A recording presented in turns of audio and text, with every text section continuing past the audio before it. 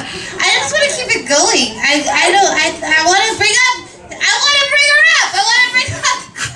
oh no. Well, I want to bring up Miss Klenk. Miss Klenk.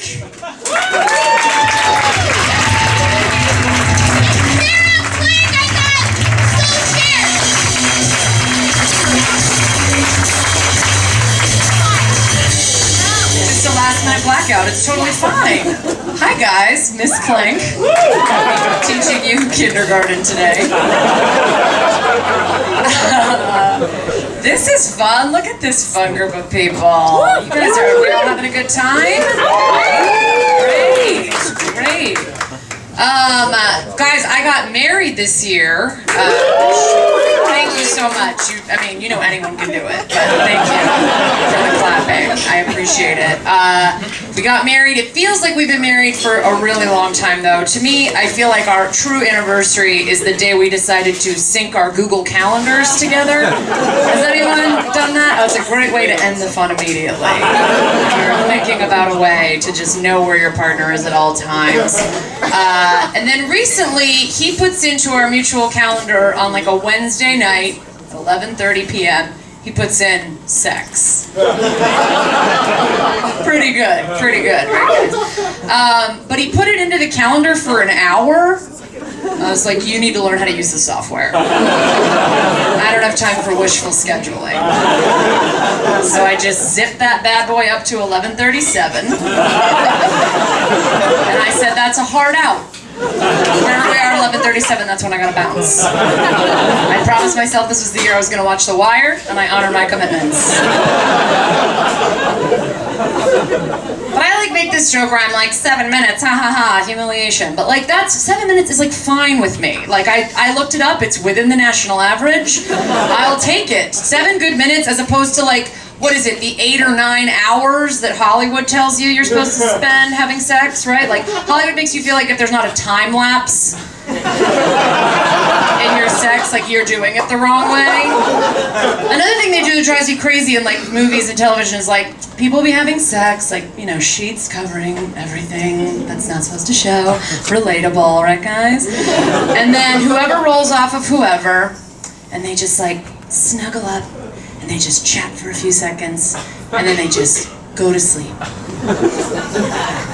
So like no cleanup. We're not doing any cleanup? Is that what's happening? Alright. Ugh, Okay. Because what are the options there? That he wore a condom and he's just wearing that bad boy till morning. Right? Tomorrow's trash day, I'll take care of it later. Or maybe, I mean, maybe they're like relying on her birth control. That's only 99% effective, ladies. You gotta get to the bathroom and handle the 1%. That's all I'm saying. You're really rolling the dice on a child or a UTI. So just all I want to see is like one realistic post-sex cleanup scene in a movie. I just I just want to see Olivia Wilde like teetering to the bathroom, being like, "I'm going first. You have to go. Let me go first. Just, co- just clean up that spot. I'll be right back." You know what I mean? Is that too much? I just thought that would be super hot in the movie. That would be good. You know, the moral of that is uh, that everyone should be using some form of birth control. And have you guys heard that male birth control is coming out next year? It's coming. It's coming. And I, I get a lot of woos when I talk about this. A lot of ladies are like, it's their turn! And I totally get that. But like, um, but like, what's the plan with male birth control, you guys? What's the plan?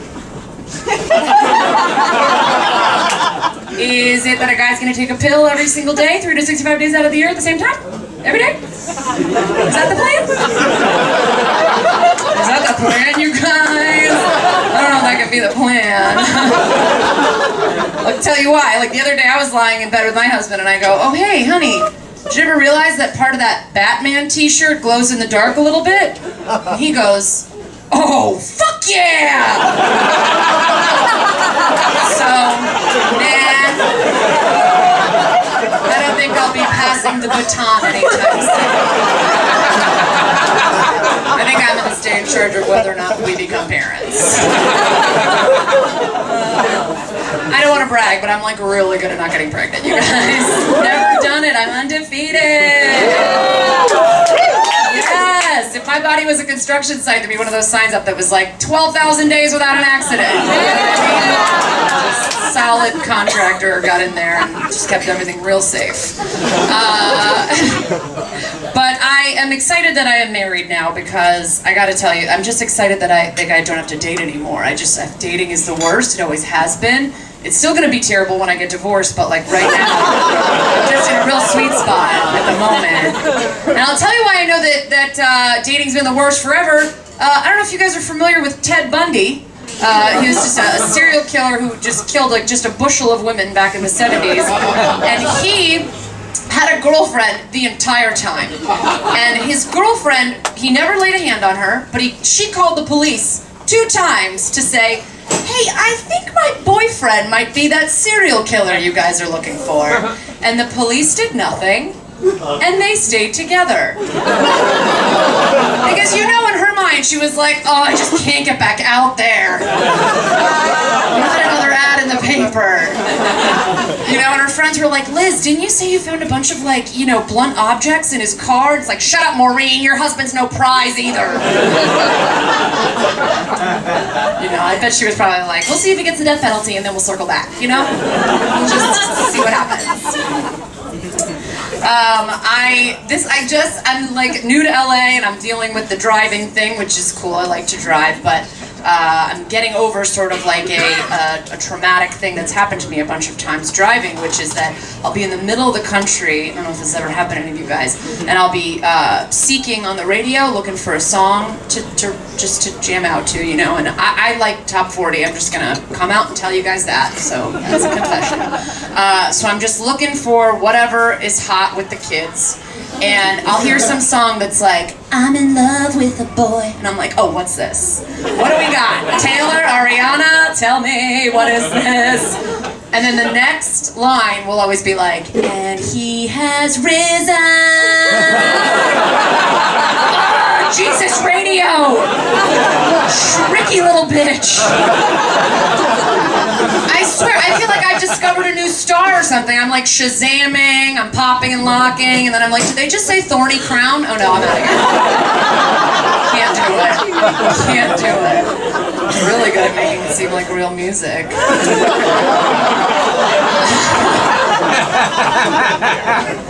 I, uh, like I said, I just moved here, so I'm trying to, you know, do some LA-ish type stuff. I went to yoga, but my yoga instructor had fake tits. Which I was like, your branding is confusing. It's like no gluten, but like bags of saline inside her. Okay, all right.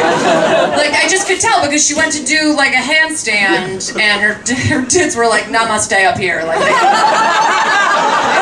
were rock hard. Get those rock hard tits, ladies. Gotta get them. I uh, a little. I, I, moved here from New York City. A lot of people. Everyone loves a New York LA comparison. I'm just gonna jump in, right? Let's do it. Uh, I'll, one thing I just find interesting is that I lived in New York for 11 years in the same apartment the entire time. I never one time met my landlord. Never spoke to him, never talked to him, never looked him in his eyes. Um, I have been living in LA for three months and my building manager wants to be a part of my life. Does anyone else just have a building manager who's like standing against your door with a cup at all times? She's like involved in everyone's business. She's very nosy. She, when I went just to look at the place, she was like, talking shit about everyone in the building. she was like, that girl over there drinks like a fish and has fucked every black guy in West Hollywood. And I was like, oh, okay. Uh, she sounds fun. Give me your number. Stop being racist. like, every black guy in West Hollywood straight? That's like two. It's like not that slutty. Just saying. Slut it up if you really want me to pay attention. yeah, so she's crazy. Um, I, uh, the, the New York to LA move has made me uh, no less broke. I'm still pretty broke. I'm still paying off my college loans, guys, right? What a bar tab. Anyone else? Uh, it's aggressive. But I went on this website recently to consolidate my student loans, did the whole thing, username, password. Then they gave me a security question in case I forget my password. Good call. I do like to drink. But the security pat question was, in what city is your vacation home located? Oh, that's fun. I didn't know you could throw salt in someone's eye over the internet. You guys know you could do that? I was like, what other questions were you guys bouncing around the room that didn't make it onto the website? Like, what is the name of your childhood pony? How many eagles are on your family's crest? How many domestics have you fired for insolence? I Thought we were okay with mom's maiden name, but I guess we had to make it about class. Um, I'll leave you with this story, you guys. I, like I said, I'm married, so I don't have any good sex stories anymore, but I have a lot of dumb friends, so don't worry. Uh, was talking to one of my dum-dums recently,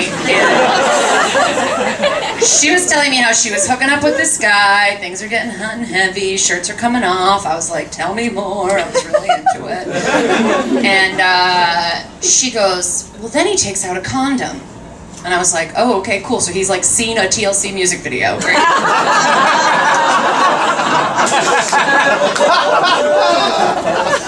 And she was like, no, that's, I, I was offended. It's so presumptuous for him to think that we were gonna go all the way. I was like, okay, Sandra Dee, TikTok, like what? what happened? I gotta go. Uh, she goes, well, don't worry, I got him back. I go, oh God, what does that mean? She goes, I gave him an angry hand job. what? What are we talking about? You have sawdust in your hands? You wear a lot of rings? What kind of what? Let me ask you a question. Did you finish the hand job? She goes, Yeah. I go, I hate to tell you something. He still wins. I don't hear that many guys being like, Oh, my girlfriend just gives the most whimsical hand job. Oh, she just winks the whole time and quotes A.A. Milne like it's adorable. Like a hand job is a hand job is a hand job. You know what I mean? I didn't even write that. That's Shakespeare. I was like, who also who taught you how to punish guys? You're doing it the wrong way. You're one of those girls that's like, oh, you cheated, just anal tonight, mister. What's wrong? You just you have it backwards. Uh, you guys, I'm Kara Klenk. Thank you so much.